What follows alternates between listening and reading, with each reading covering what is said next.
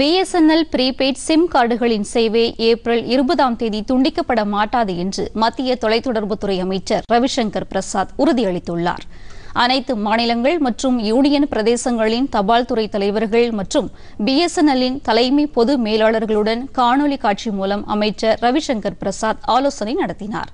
அப்போது அவர் இந்த நெருக்கடியான நேரத்தில் தொலைபேசி இணைப்புகள் தொடர்ந்து கிடைப்பதை உறுதிப்படுத்த பிஎஸ்என்எல் கடுமையாக உழைத்து வருவதாக தெரிவித்தார். அவுட்கோயிங் அழைப்புகளுக்காக தானாகவே இன்று பத்து ரூபாய் ஊக்கத்தொகை வழங்கப்படும் என்றும் இதன் மூலம் ஏழை மக்கள் தொடர்ந்து பணியாற்ற முடியும் என்றும் அவர் கூறியுள்ளார்.